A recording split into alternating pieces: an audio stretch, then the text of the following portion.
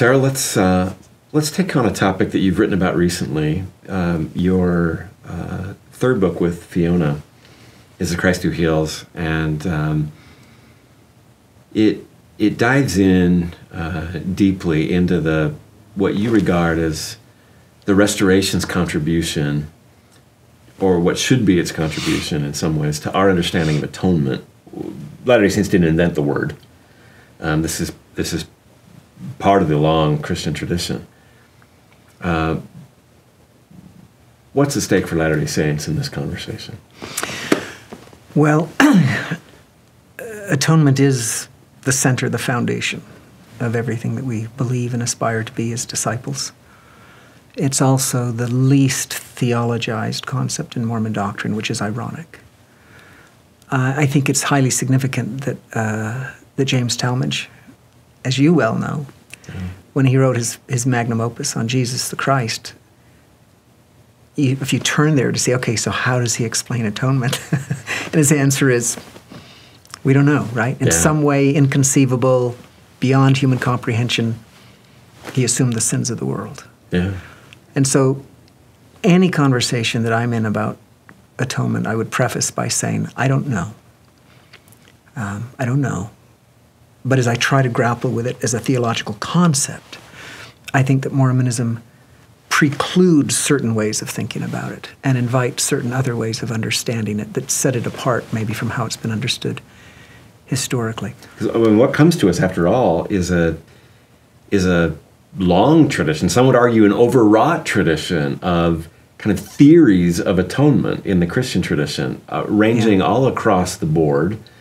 Um, but didn't develop at once and didn't necessarily necessarily develop early. Right. And so what what what Christians for uh, hundreds and even thousands of years were working on how exactly am I saved? How does God's Son's sacrifice relate to me?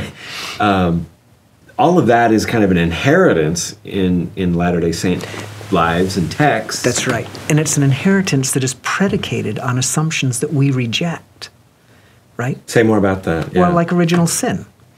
If we begin with a universal condition of sinfulness and damnation, then atonement is what rescues us from that condition. Yeah. But if, as Latter day Saints, we believe that the fall was an ascent, that Eve and Adam made the right decision, and that we are not partakers in any way of any guilt that may or may not inhere in that decision, then obviously we have to reconstitute atonement on completely different bases. So that's the first point of difference. Second, I think it would be pointed out, and, and correct me here to the extent that I'm wrong, but, but most early theologies of atonement are, are, are rooted around notions of, of penal substitution or some kind of substitution, usually penal substitution, meaning yeah. that Adam affronted God. He committed an offense against truth, purity, goodness. A penalty must ensue. Justice requires that. And so somebody has to bear the punishment for that. And that has been so dominant in the history of thinking about atonement that one recent theologian who wrote a collection of essays on atonement theology, concluded this is a barbaric idea whose time is past and Christianity should just jettison it. Mm. Because notions of a kind of collective guilt and of Christ bearing a punishment imposed by an arbitrary principle is so incompatible with our modern ideas or sensibility of, of fairness, goodness, justice, fairness and justice yeah. that I, I would agree with him. And so as I've gone through the Book of Mormon and tried to learn what does the Book of Mormon have to say about atonement, my personal understanding that I've come to is that it reframes atonement in terms of consequences, not punishment. And that may seem like splitting hairs, but I think it's a, it's a, it's a huge, huge distinction. In other words, Latter day Saints are rooted in the idea that, that, that, that, that human history begins with a debate about agency and the place of agency in our eternal existence. And agency, as I understand agency, is requires an understanding that freedom is only is only genuine freedom when it is wedded to a consequence.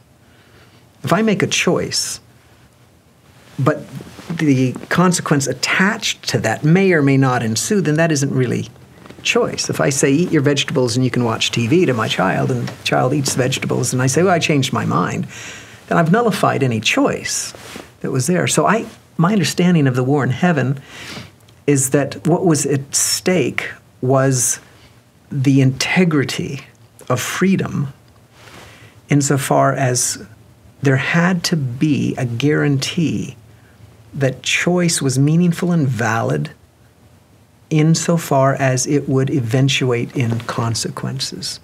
And I think that's what the Book of Mormon is saying in Second Nephi too about yeah. you know God lays this all out. He lets us know what the consequences are. There's a law that, that, that gives us direction and guidance. And, and B.H. Roberts wrote about this, and he said it was essential for the government of the universe that there be an assurance that choice eventuates in consequence.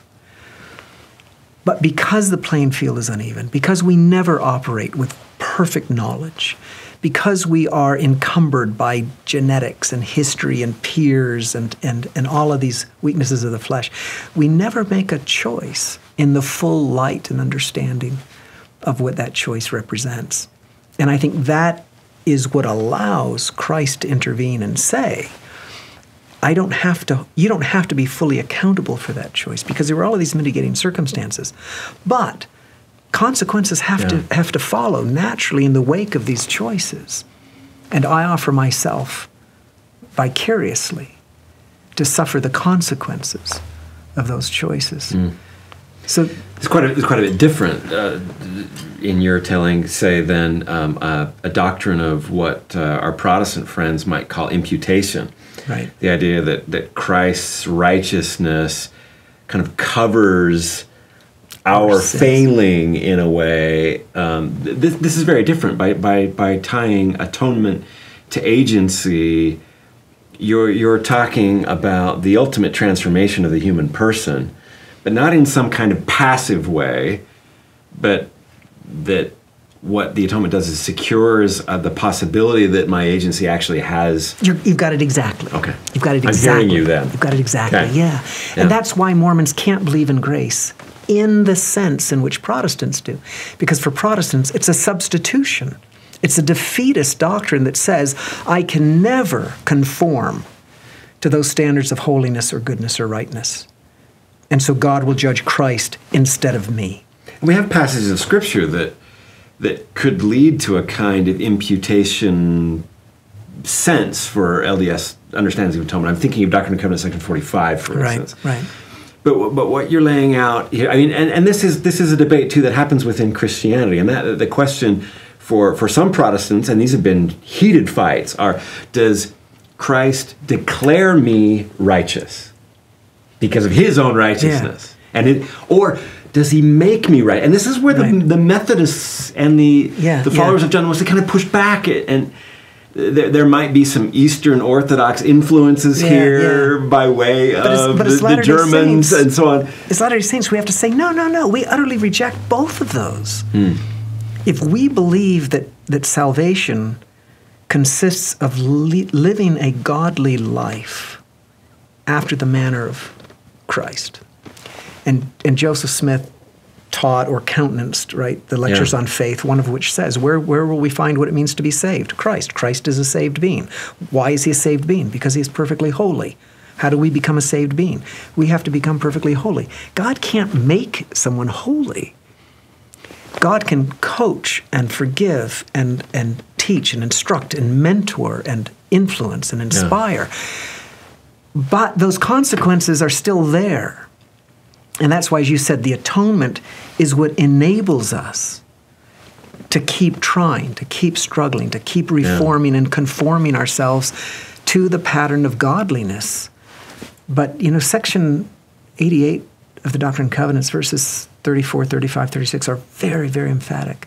And say you can only be sanctified by law. By law. And, and what that means is that we're not rewarded for law, but it means to live in harmony with these divine precepts is the only way that we can. You can only be chaste by being chaste. Yeah.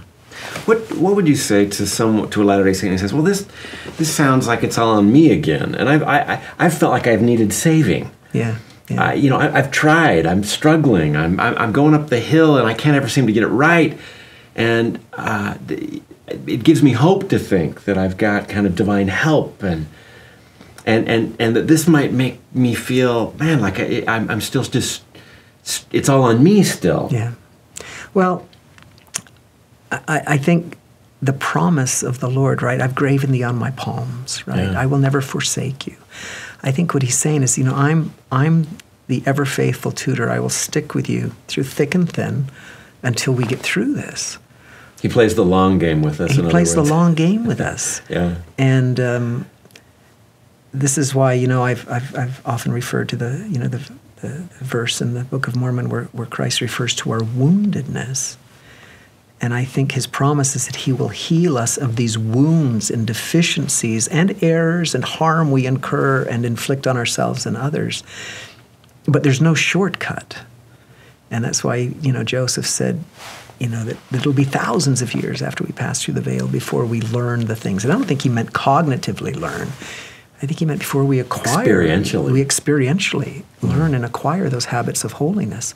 That, and that reframes our experience here on earth as well, doesn't it? Is that um, there is deep purpose in being in a family where you can't quite comprehend that sibling or that son or that parent, and where you struggle against Yeah, the gaps yeah. between us and the brokenness of. No, absolutely. there's deep purpose here. Absolutely. One of my favorite quotations from Brigham Young, you don't hear often, is, is he said, The purpose of the gospel is to bring out every weakness, sin, and infirmity in your, in your person so that it can be purified by the fire of the gospel. Mm-hmm. So we're meant to rub up against each other and irritate and aggravate and infuriate each so that we can be purified. It also gives deep and profound meaning to all suffering, all experience, all the harrowing nature of our of our lives. It's because it's not easy to transform people like us into godly beings So by framing it the way you did, it's not to remove divine help from human striving. in any way. But it's to reformat human striving as purposeful, transformative, Yeah, exalted yeah, eventually. Yeah. yeah, in this context, I really love the definition of sin that Charles Taylor gives, which he says sin is our refusal to cooperate with God in the sanctifying effect hmm. of suffering. So it's a cooperative venture where God aids us, strengthens us along the way, Heals us, as you said. heals us and makes possible makes it possible for us to re-choose and re-choose. And that's how when i read the word repentance that's always what i'm seeing in my mind. Repentance means to re-choose to re-choose. Because until our choices are right we're not going to experience the consequences the fruits This is fascinating to me because you're, you're marking out a path that is is not the classic Christian heresy of God gave you uh, moral faculties to choose right, so do it. Right And, pelagianism and, yeah, and if you don't, then it's your own fault because you can you Yeah. see things clearly. God gave you that, so so do it. Be that moral being and perfect yourself. It's, this is not what you're arguing for. No. But it's also not that other that that that passive sense either of I wait for God's effect on me, and I passively receive whatever He'll give, and um, his, the righteousness covers mine, and I remain yeah Now, the- essentially sinful and saved. Yeah, yeah. The only thing that, that, that moves either. gestures in the direction of passivity is the surrender of our will to His, in the in the in the sense that we have to have that faith that okay, I'll do it your way because my way isn't working. Mm-hmm. But it's still an exertion of the will in in that way. And and I would just say in terms of the hopefulness that I think the restoration. Uh, brings us in this regard is, is really was there latent all, in, in the Sermon on the Mount all along, and um, in, in Matthew, as he's ending the Sermon on the Mount, we, we translate in the King James Version, Be ye therefore perfect, right? But, but that's not the, the reading of the original Greek. The original Greek is, Therefore, ye shall be whole. It's a future tense verb, and the word isn't perfect, it's whole. And so the way I read that is he's given this, this beautiful litany of challenges, right? You know, be meek and be humble and submit yourselves to persecution and, and, and practice love and charity. And if you do all these things, trust me, you're going to be okay. Mm-hmm. You're going to be whole one day. It's a beautiful promise. It's beautiful.